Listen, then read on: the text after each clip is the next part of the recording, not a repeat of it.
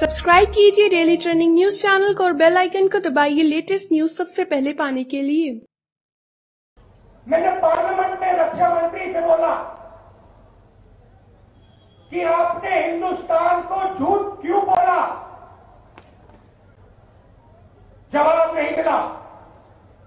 जब मैंने नरेंद्र मोदी को यह कहा जो मैंने आपसे कहा नरेंद्र मोदी जी अपनी आँख मेरी आँख में नहीं मिला पाए। नरेंद्र मोदी जी अपनी आँख मेरी आँख में नहीं मिला पाए। आपने स्वयं टीवी में देखा। कभी उधर देख रहे थे, कभी इधर देख रहे थे, कभी उधर देख रहे थे। क्यों?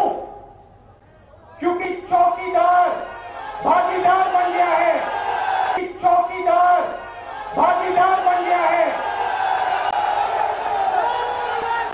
चौकीदार ने भ्रष्टाचार किया है, मैं आपको बता रहा हूँ स्टेट से आने वाले समय में दूध का दूध पानी का पानी हो जाएगा।